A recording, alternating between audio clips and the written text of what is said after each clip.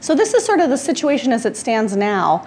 Um, and this is, leads us then to our final question, the sort of question about what are we really observing with the Arab Spring? Um, in some cases, you know, are we seeing a kind of unstable transition to democracy, consolidation of democratic values and institutions?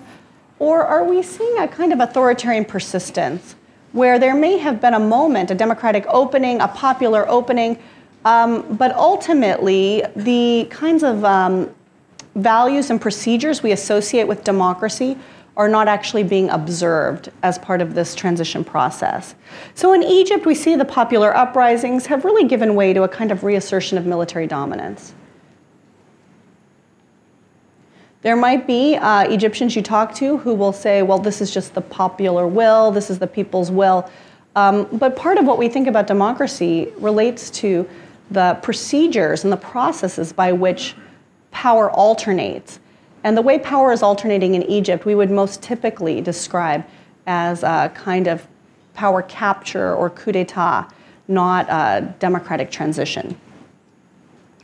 Uh, Tunisia provides kind of a more hopeful picture, a country that has seen uh, forms of alternation of power, that has adopted a new constitution that appears to be on the road to transition, but again, it's still very early. And I don't think at this point we can even count Tunisia um, as a fully consolidated democracy, but rather a country that's sort of along that path. Libya post Gaddafi, um, you know, it, this is a country facing a series of security threats, a lot of political polarization, tribal polarization it's really unclear still um, how that transition process is going to, um, how it will end. And of course, Syria is uh, in the midst of a, of a civil war, a war that wages every day, that um, we know that hundreds of thousands of people have been displaced, killed, tortured, starved. Um, this, is, this is a conflict that, that goes on. One interesting um, kind of final observation is that the region's monarchies, however, have remained largely unchallenged. So there were protests in almost every Arab country of different size and scale.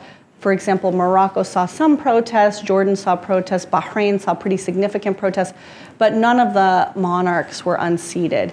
And the size and scale of the protests in the monarchies tended to be far less than in the republics or the countries that had presidents as their head rather than kings.